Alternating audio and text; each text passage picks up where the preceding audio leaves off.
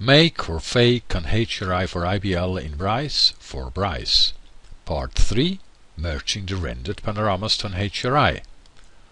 Part 1 discussed how to set up the lights in a scene and part 2 showed how to render the scene with different light settings. Now we have to assemble the renders to an HDRI. To merge the exported renders to an HDRI, an additional program is needed. The video why you should consider exporting your renders as HDRI mentions several free programs for the Mac and PC. We will use Picturenaut to assemble the HDRI and HDRI Shop to transform the spherical projection to an angular map. HDRI Shop can also assemble the individual renders to an HDRI, but Picturenaut is more flexible and gives better results. Bryce can use light probes in the spherical projection as well, and a transformation is not mandatory. However, it appears that Bryce prefers the angular map. The HDRI light probes in the spherical projection can also be used in Carrara and DAZ Studio, though a bit tricky in DAZ Studio, and several other 3D programs. If you prefer building and rendering your scenes in another 3D application, you can still use Bryce to create light probes for them. I rendered this scene as cube faces to create a larger probe. After assembling, I found this result with the violet floor.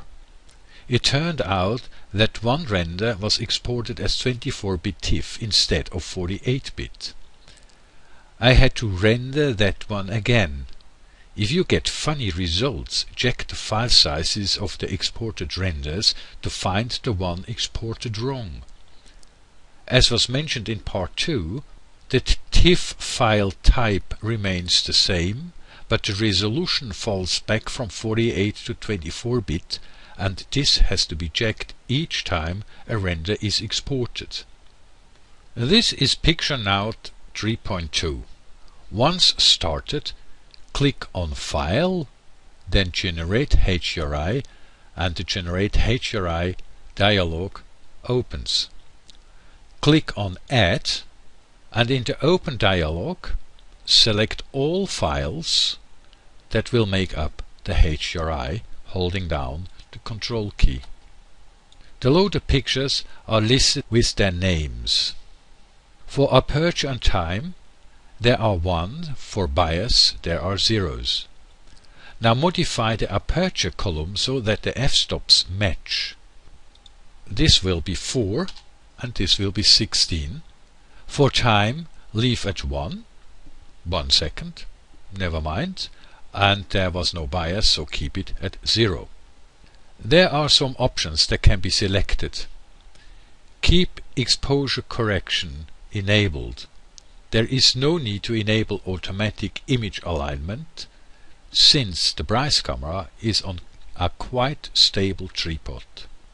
Ghost removal is neither necessary, there are no moving objects like people or cars in the image. You can try color balancing, I balance colors with an external program if necessary. Use standard weighting and the camera curve be computed. This usually gives the best results. For photographic pictures I usually have it that way then save the curve to assure that all HDRIs for a panorama look the same. Here we have only one position. However, if you render the six faces of a cube to create a really large light probe, you would assemble the face with the highest contrast first using compute then save the curve and use it for the remaining 5 cube faces. Click on OK and the HDRI is assembled. On the bottom we have the statistics.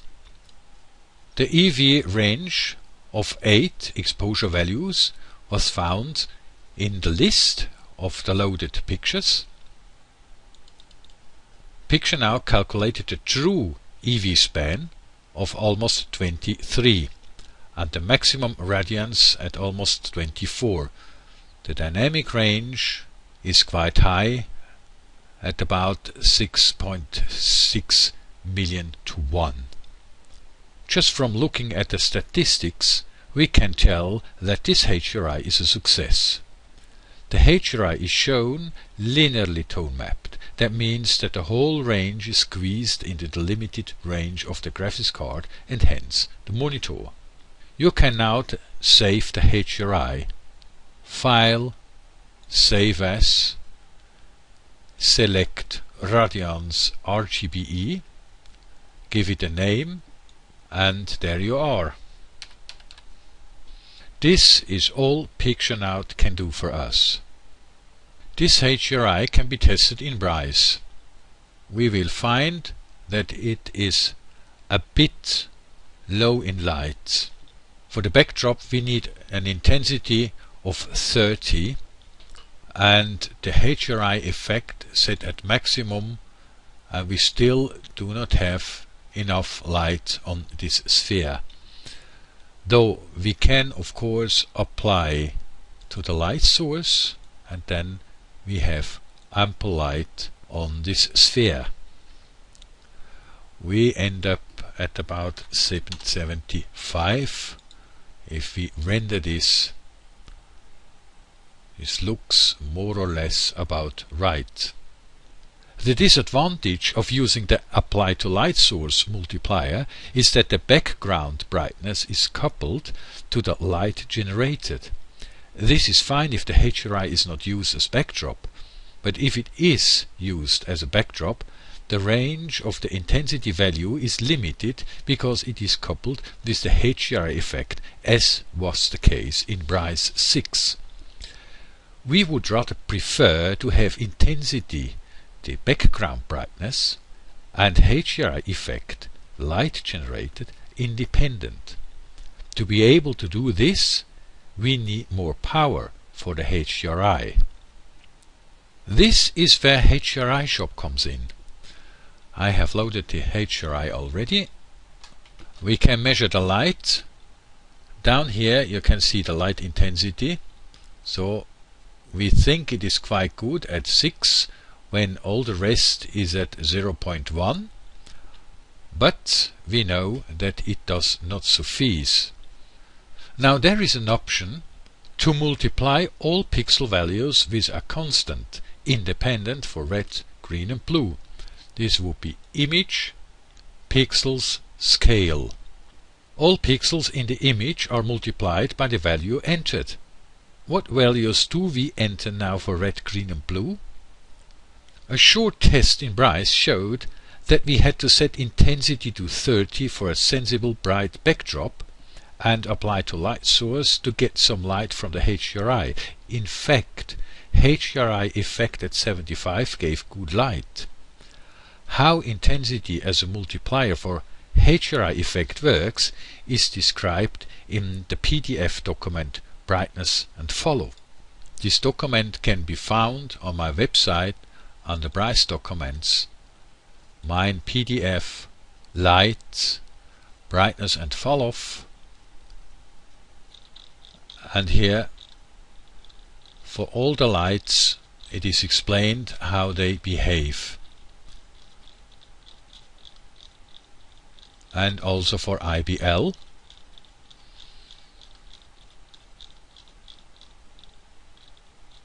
and thanks to this document we can find that we should multiply the pixel values by 4 and then we can reduce intensity to a fourth to 7.5 if apply to light source is still enabled, HDRI effect stays at 75. Now if we disabled apply to light source, there will be no light booster and we'll have to double the HDRI effect from 75 to 150. To sum it up, multiplying the pixel values by 4, adding two full f-stops, results in a nicely balanced HDRI for IBL. The backdrop gets good light at intensity 7.5 and there is ample light at the HDRI effect of 150. So that's the theory. Now enter 4 for red, green and blue.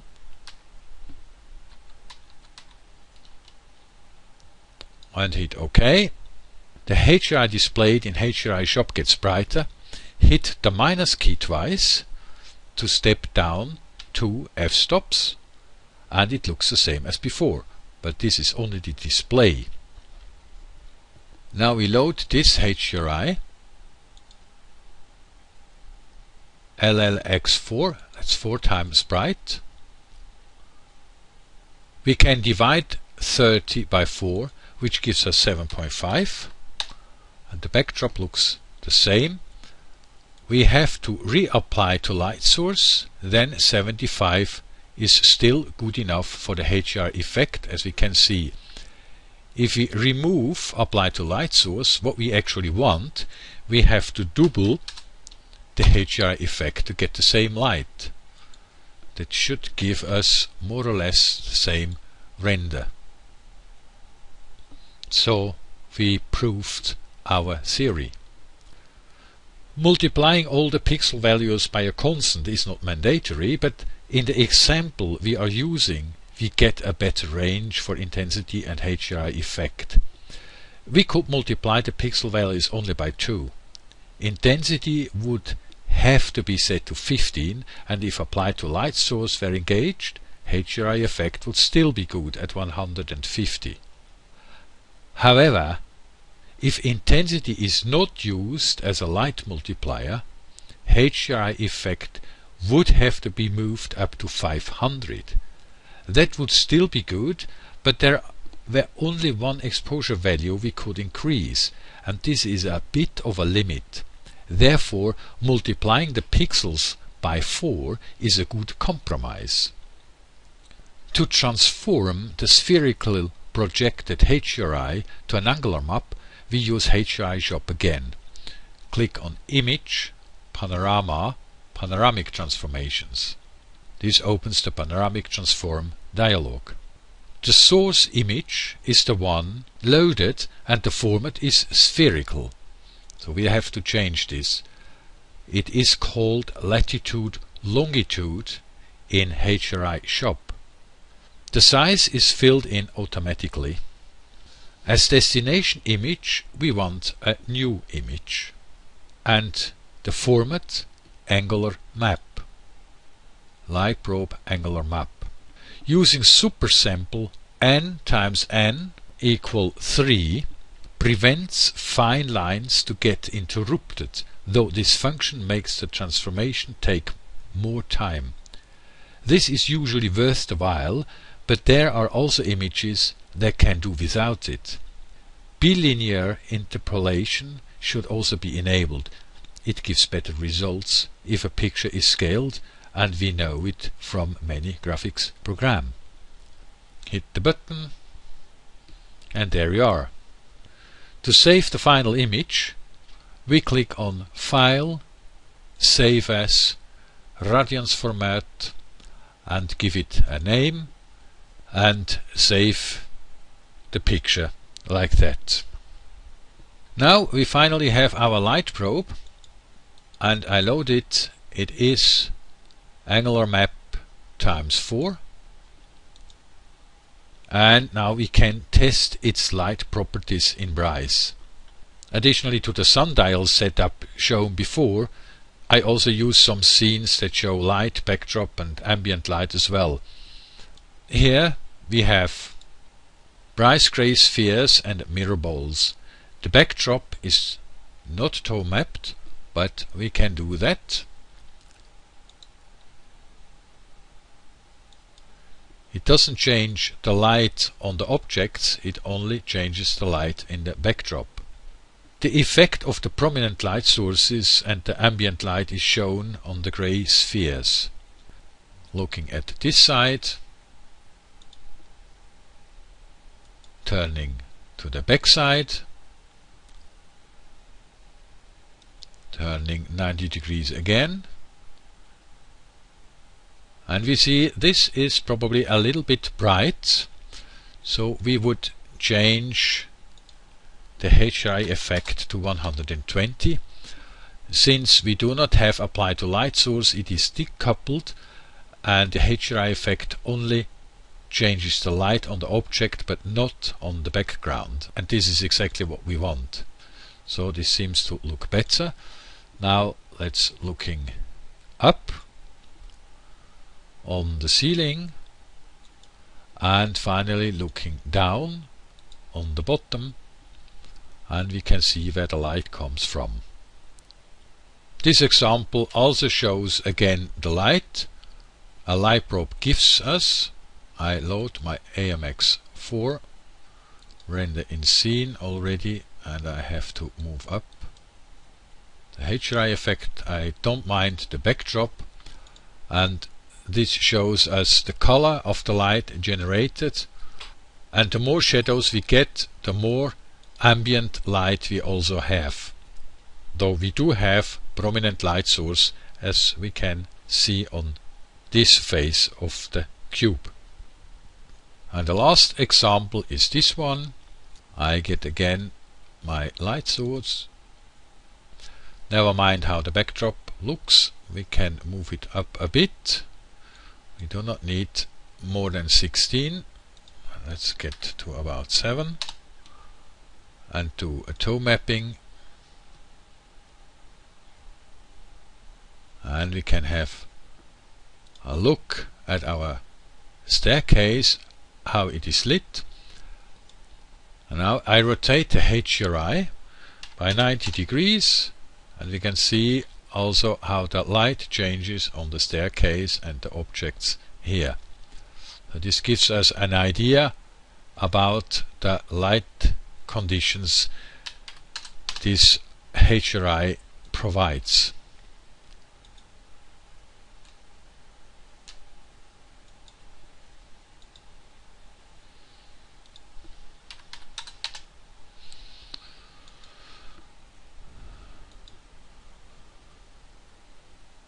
I hope this gets you going to experiment creating a light probe from your renders.